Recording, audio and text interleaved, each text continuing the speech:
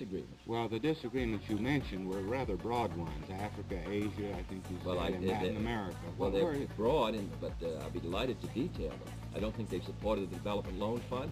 I think the President's trips, while beneficial, have not been supported by affirmative action since he's been home. I think India is moving into a serious economic situation. The United States has failed to mobilize, for example, the Western European countries or our own resources to assist them. We have ignored Latin America.